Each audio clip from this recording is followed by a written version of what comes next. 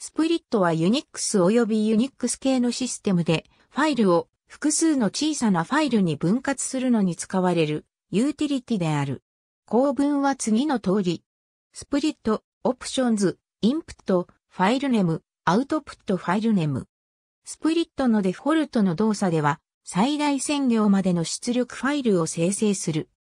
生成されるファイルのファイル名は、 output filename に、AA、AB、AAC といった文字列を連結したものが使われる。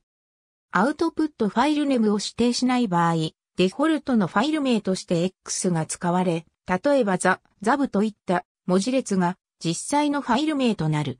このため、デフォルトでは AA から GG までの676個のファイルまで生成できる。インプットファイルネムの代わりに、ハイフンが指定された場合、標準入力からのデータを入力とする。ファイル群を元の一つのファイルに戻すには、cat コマンドを利用する。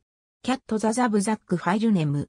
または、cat so a, c ファイルネーム。オプションを指定することで、分割後の各ファイルの行数制限を指定したり、最大文字数を制限したり、サフィックスの長さを指定して生成するファイル数の制限を変更できる。ありがとうございます。